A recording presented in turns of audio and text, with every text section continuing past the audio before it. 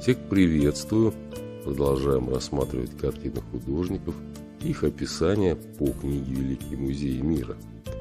Питер Брейгель-старший. Притча о разорителе гнезд. Около 1568 года дерево масла 59 на 68.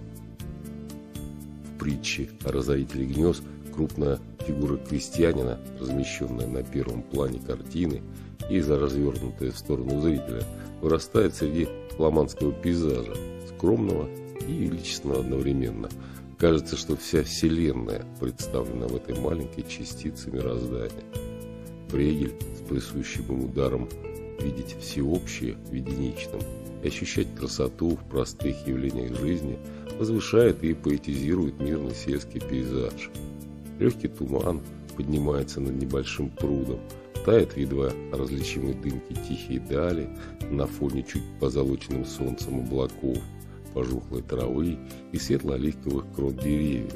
Вырисовывается силуэт крестьянского дома. Природа вокруг небольшой усадьбы живет по законам гармонии, чего нельзя сказать о людях.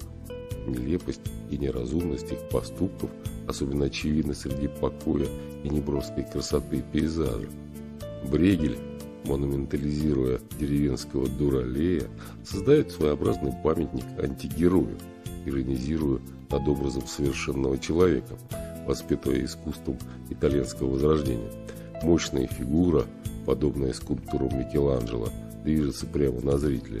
И кто же это? Крестьянский Олин, простак, без царя в голове, здоровый, малый, добродушен. Он совсем не умен. Уверенно и беззаботно он приближается к разверзающейся впереди темной яме.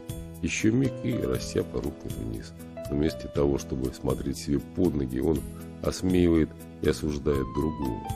С довольной ухмылкой парень указывает на готового сорваться вниз мальчишку, который из последних сил держится за сук, старается не упасть с высокого дерева. Подобным способом художник иллюстрирует евангельскую притчу о человеке, увидевшего сучок в глазу брата, а в собственном не разглядевшем бревна. Вот такое описание к работе «Притча о разорителе гнезд» автор Питер Брейгель-старший, около 1568 года.